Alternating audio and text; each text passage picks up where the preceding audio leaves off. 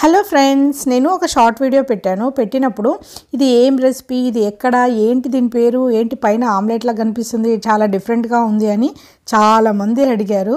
So అందుకని నేను ఒక మళ్ళీ పెద్ద వీడియో అయితే చేస్తున్నాను. ఇది ఒక రెస్టారెంట్లో అండి.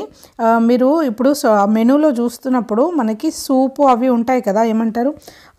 సూపు కాకుండా నూడిల్స్ ఉంటాయి కదా. చికెన్ మంచావ్ నూడిల్స్ అట్లా ఇది ఎగ్ మంచావ్ నూడిల్స్ అనమాట అంటే ఇట్లా డ్రై రోస్టెడ్ నూడిల్స్ ఉంటాయి కదా వాటిలో ఇట్లా సూప్ లాగా అంతా వేసేసి పైన ఇట్లా ఆమ్లెట్ లాగా వేసిస్తాడు. నేను ఇది ఇంతకు ముందు కూడా ఒకసారి తిన్నాను. సో మా హస్బెండే ఆర్డర్ చేస్తాడు ఎక్కడికి వెళ్ళినా కూడా నాకు ఇవన్నీ తెలియదు కాకపోతే ఇది పైన ఆమ్లెట్ లోపల నూడిల్స్ ఆ నూడిల్స్ కూడా సాఫ్ట్గా కాకుండా అన్ని రోస్టెడ్ రోస్టెడ్గా డ్రై డ్రై నూడిల్స్గా ఉంది అండ్ కరకరలాడుతుంది. అట్లానే సూప్ లాగా కూడా ఉంది. చాలా వెరైటీగా ఉంది. సో మనం బయటికి వెళ్ళినప్పుడు ఏంటి అంటే నేను ఇంట్లో చేసుకోలేనివే బయట ట్రై చేస్తూ ఉంటాను తినడానికి.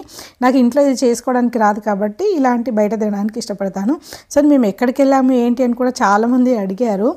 ఆ, నేము ఇక్కడ ఇది టివోలీ ఉంది కదండి హైదరాబాద్ టివోలీ థియేటర్లో కొత్తగా రెస్టారెంట్ స్టార్ట్ చేశారు.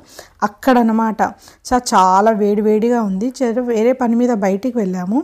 బయటికి వెళ్ళి ఇంకా మేము వచ్చే దారిలో అక్కడ నుంచే వస్తున్నాం అనమాట చాలా లేట్ అయిపోయింది లంచ్ కూడా తినలేదు ఇద్దరము.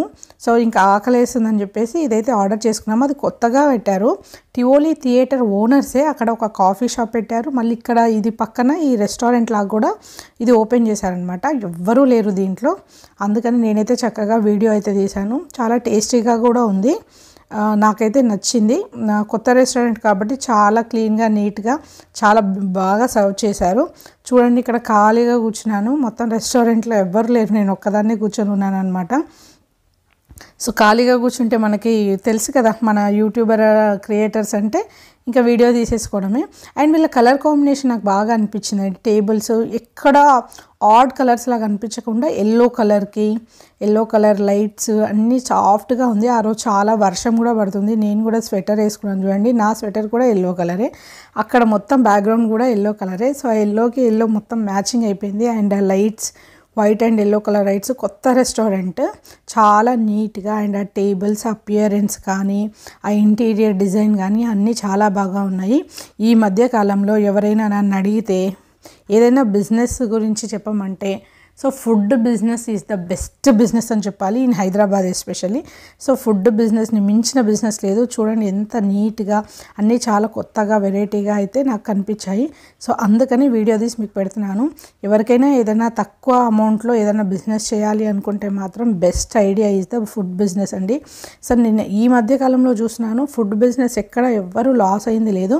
కరోనా టైంలో కొంచెము ఆగిపోయినా కూడా తర్వాత మళ్ళీ ఊపందుకుంది సో మనం ఏదో ఒక పని మీద బయట బయటికి వెళ్ళినప్పుడైనా ఇలా కంపల్సరీ వెళ్ళాల్సే వస్తుంది. తప్పదు. ఆకలి వేసినప్పుడు ఇంకా ఏది ఆలోచించాం కదా? ఎంత రేటు? ఏంటి? ఆలోచించకుండా తినేయాల్సి వస్తుంది కదా?